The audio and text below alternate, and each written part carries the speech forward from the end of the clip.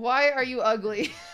That's not funny. No, look. Sorry, I was intoxicated. Kind of out of pocket. Sorry about that. so, what is what's your answer? It's you're in charge. Yeah, but can you answer that? Because of you! That's why I'm ugly! Wait a minute. this is your I'm fault. only half the gene pool. That's is- bullcrack. This is